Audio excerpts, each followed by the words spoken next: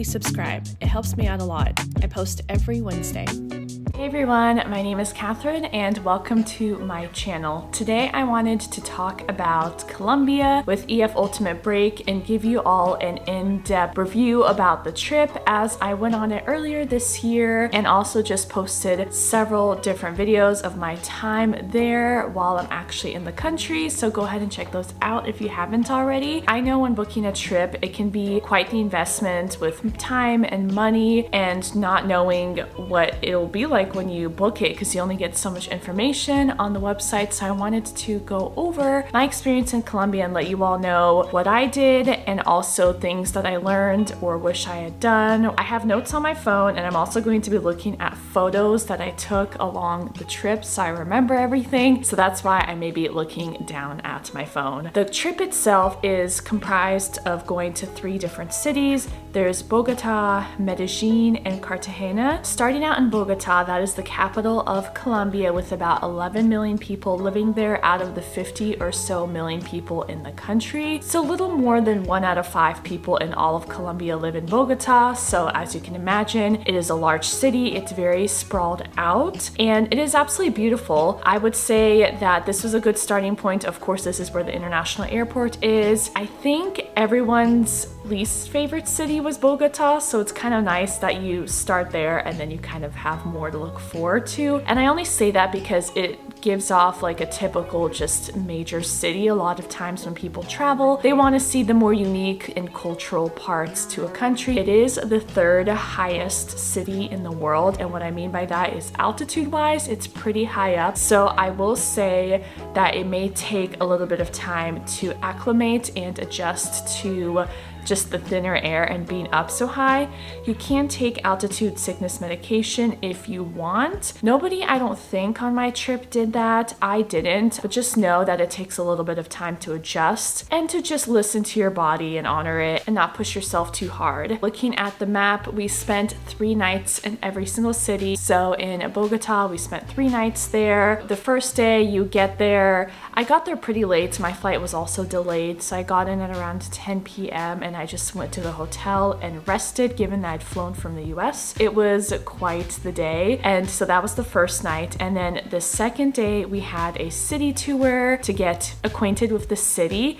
We got to go up to the top of a mountain essentially and just see beautiful views of just the sprawling city and how widespread it is. You could only see like 60 to 80% of the city because that's just how widespread it is. But it was absolutely beautiful to be up there, see the views. There's a church up there that's still running and there was a service going on at the time when we went and seeing all the beautiful fauna and flora. It was just a great way to introduce ourselves to the city and we got to take this really cool like side car kind of a situation up the really steep mountain. You can walk it, but it's pretty intense and especially after getting to the country the night before. With EF, you just take the popular option, which is taking the sidecar up. And our day was actually a little bit flipped around because it was really busy. I believe we were there on a Sunday, and so it just took a really long time to get back down the mountain with the lines to get to the cart. And so instead of going to a museum, we ended up later going to just do basically like another city tour, but within Old Town. If your situation's a bit different and you aren't running super late because it's on a weekend when you start your tour, you might end up going to the museum. But with my experience, we got to walk around Old Town. It was really good weather this day and we really did love it. We got to see all these beautiful alleyways with beautiful paintings. People were also painting on the floor as well and it was absolutely incredible. There was a lot of different like side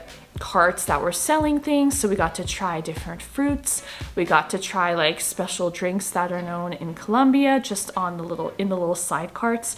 So that was really amazing and everyone was pretty happy with how it turned out. I will say though I've noticed it generally in Latin America but since we're talking about Colombia, I noticed in Colombia, one thing that kept happening, and I don't know if there's a way you can avoid it necessarily, but it was just a frustration, and it was that my tour guide would tell us, hey, you have an hour for lunch and meet here at, I don't know, 2 p.m.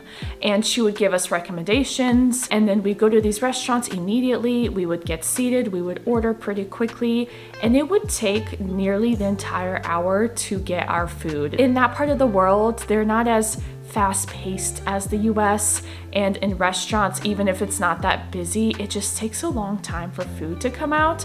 So we were constantly just scrambling to make it back on time. And because it's a tour everything is run like a well-oiled machine and you have to leave at a certain time and there's not much leeway room because there's another thing booked like immediately after. And it's just it gets kind of tricky and complicated. And that was something that was frustrating because the first day we sat down and we got our food, I'm not kidding, the moment, the minute that it turned like, I forgot if it was 1 p.m. we were meeting at 2 p.m., but the minute we were supposed to meet, the group is when we got our food. So there was no time to eat it. And then there were other times where we got it like five to 10 minutes before. And then our tour guide would get mad at us, but we tried our best. Like what else could we do? And especially when we went to restaurants that the tour guide recommended. So that can be a bit tricky. It was just the whole thing. But yeah, that's just one thing that I noticed. But basically the whole day we just did a lot of different tours around the city and got well acquainted with it. And then that evening we went and had our welcome welcome dinner, there will always be an included welcome dinner and farewell dinner with every EF tour. And this welcome dinner was pretty cool.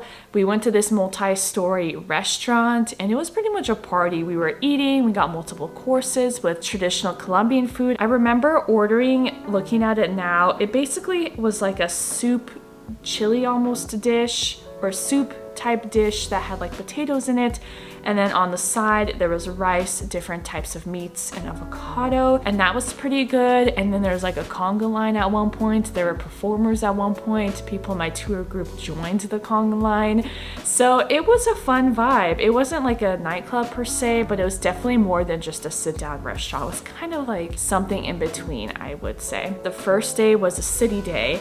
And then the second day, so we had two full days, we went out into a park. So we went to Parque Natural Chicaque, or Chicaque Natural Park. And that was really cool to be able to do that. It was a bit further of a drive, so we woke up early and then we were able to take these cool Jeeps down. Now I remember this day we were really stuck in traffic. Like it was much worse than usual because there was a pretty serious accident that had happened on the freeway. So we were supposed to hike like this entire portion, but we got driven by the Jeeps down to where cars could no longer go and then hike the rest of the way.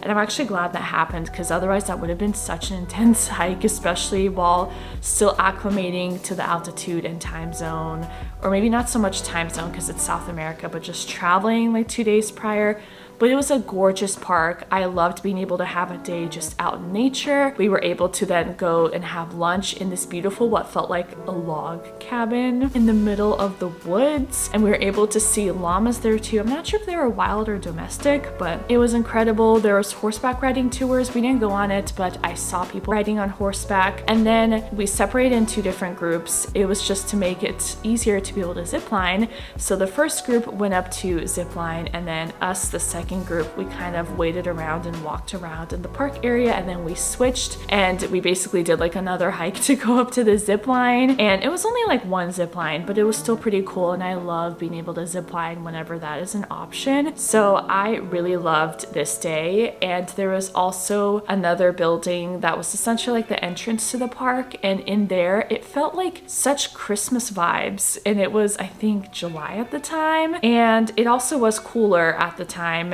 well, depending which city, I can get into that. But Bogota, for me, I'm from Seattle. So like Seattle in like fall and early winter is definitely cooler weather, which I personally really liked. In this building that looked like such Christmas vibes, you could get something that is local to Colombia, which is hot chocolate and cheese. And you basically like put like, it almost felt like bits of string cheese and you put it in the hot chocolate and drink it together. It didn't quite melt, which would have been nice, but it still tasted pretty good. It just was very different, but I think the hot chocolate really cemented the Christmas feeling and I love Christmas, so I wasn't complaining. And then that evening, there was an optional excursion to play tejos and also drink beer and I don't drink, but I played Tejos and my tour guide was nice enough to get me a non-alcoholic drink just because I technically paid for the whole excursion and that includes the beer. So she got me a non-alcoholic drink instead. And Tejos is this game local to the area. What you do is you throw a stone and there's these little triangles against like a clay board. If the stone hits one of the triangles or multiple, it literally explodes like a mini firecracker. EF says it's safe. I mean, we weren't like standing right by it. So that was pretty cool. And I always love going to the excursions unless it's something I'm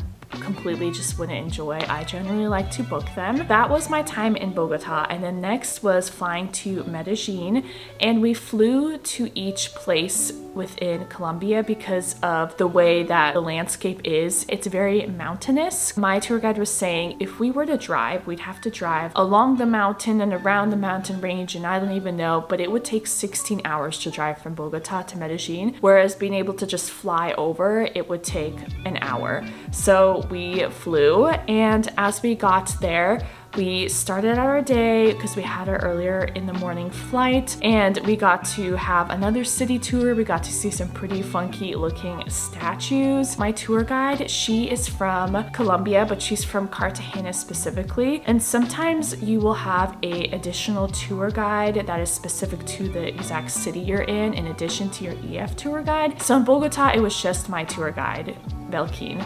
But in Medellin, we had my EF tour guide and then we also had a local tour guide. So we had two people for that city, which is pretty cool. And Medellin is also in just a very like hilly and mountainous area, which makes it difficult to get around, especially with the metro. So they decided for part of the metro to basically have gondolas. And I thought that was the coolest thing. It's not like a special tourist attraction and extra cost. It's like, no, this is how the locals use the metro and how they get from point A to point B and it was so fun to just ride the gondola. It was the coolest metro I've ever seen. And then afterwards we ended up going to what was known to be the most dangerous neighborhood in the 80s. And Colombia has its stereotypes. I felt really safe the whole time I mean, I was in a tour group, but I just got to see the culture and the colors. And I keep saying that, but it's just like such a beautiful place. And everyone loved Medellin. It was actually most everyone's favorite city. When we went to this neighborhood that's been completely transformed and now it's a popular tourist attraction, that was one of the most favorite things that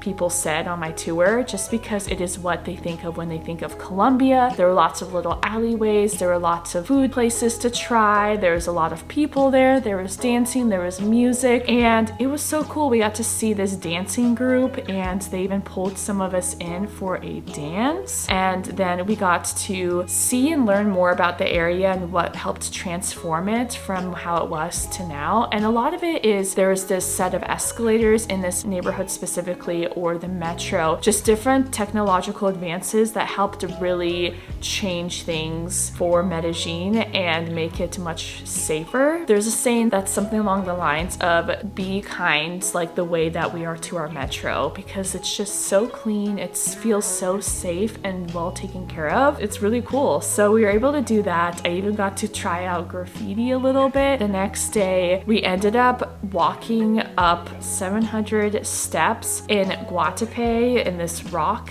And it's just such an interesting looking, just it's a rock with like all these steps going up. So we did that got a workout in. I always joke it's leg day every day at EF. That was pretty cool. And then afterwards, we were able to do a speedboat excursion and we got to see a lot of cool houses along the shoreline, like a famous soccer player's mansion and then some other things as well. We were able to have the boat take us more in the city of Guatapé, which is known again for colorful buildings. There's this alleyway or this street that has the umbrellas above that you see all over Instagram and social media when it comes to Colombia and we got to do a lot of photos and also just do souvenir shopping and that was pretty cool. And then the next day was essentially a free day, but even on free days with EF, there will be a schedule or either you have pre-excursions you can pre-buy so your free day you have stuff planned or it's a free day and there aren't optional excursions but then your tour guide will give options. Like when I was in Japan, there was a free day and my tour guide was saying, hey, if anyone wants to, I'm going to be going to the bamboo forest and I'm going to be going to this fish market. And so we just followed and did that. But here for this free day in Medellin, there's an option to go to a coffee plantation and to go whitewater rafting. And I signed up. I'm not the biggest coffee drinker, but I wanted to check out this place and get coffee for friends and family that like coffee. And I was also really excited to do whitewater rafting. So we were able to do that and we started out with coffee and I did try a little bit of coffee and it wasn't too bad honestly. I think in general in Colombia, but especially I think in this coffee plantation, I didn't realize until later that day when someone pointed it out, I got eaten alive by bugs.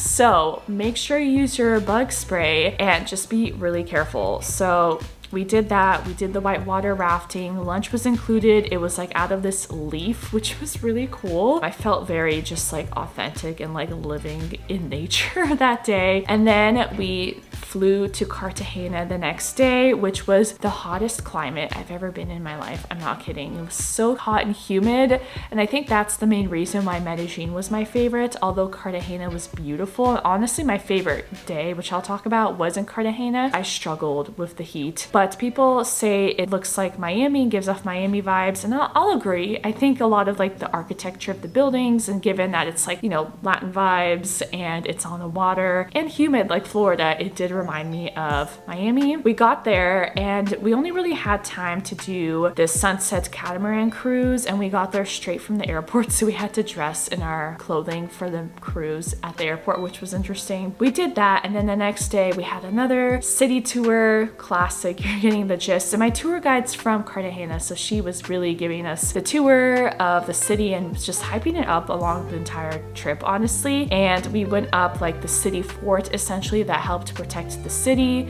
from like pirates and other people and places trying to take over. And then there's the walled city of Cartagena, which is like the number one thing to do for TripAdvisor with all these beautifully colored buildings. And it was just beautiful and the alleyways and the colors and you're getting the gist. And then we got to do an optional, essentially you get to ride, it's called a Chiva bus and it's basically a party bus. And that was fun in the evening. And then the next day we basically had a private yacht that took us to Baru Island. We got to go snorkeling, we got to have a whole fish for lunch, and we got a private section of the island. It was incredible, and for the hot weather that it was, it was the perfect way to experience being in Cartagena. I love water. The snorkeling, the jumping into the water from the boat was amazing. That's kind of a quick overview because then afterwards we just flew home the following day. Just some tips for Colombia. So there, cash is king. I've noticed usually when you're abroad, a lot of places still use cash primarily and a lot of places only take cash. So just know that. I've kind of just learned and for Colombia, it's best to exchange once you're there,